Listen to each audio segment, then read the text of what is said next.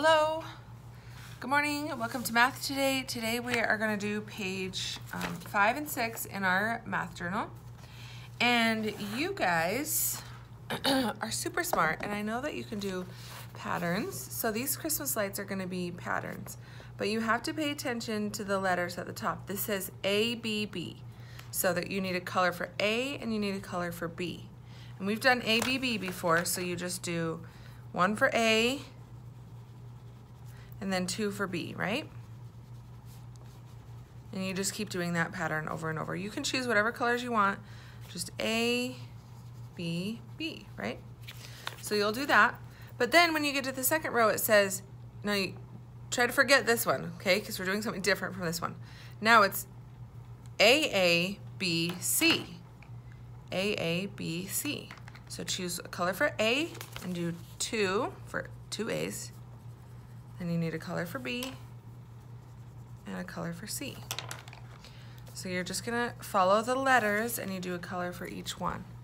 C, A, A, B, C. So when I start over, what color is it gonna be? You're just repeating the pattern. So it'll be light blue, light blue, purple, red.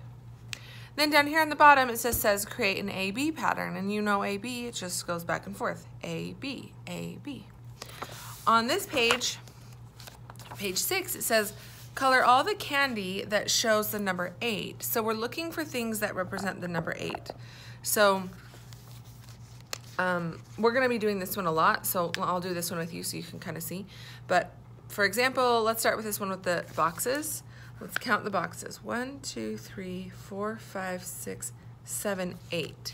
This shows the number eight because there's eight boxes, so we're gonna color that candy.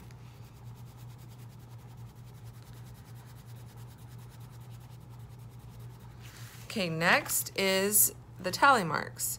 Remember that, a, have we talked? A group of, um, okay, so on the tally marks, you're gonna count each line. One, two, three, four, and then this cross line right here, five. So this first group is five, six, seven, eight.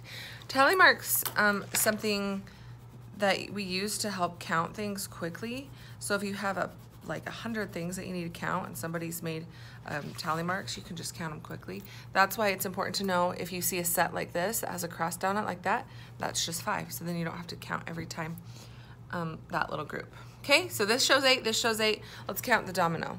One, two, three, four, five, six. Nope. Let's count the dice.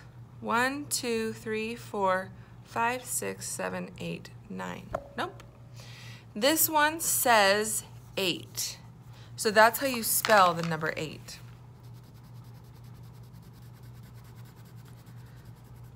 So that's simple, right? We're just finding things that show the number eight. And that's all you have to do today for your math journal. I hope you have a super fun weekend and I'll talk to you soon.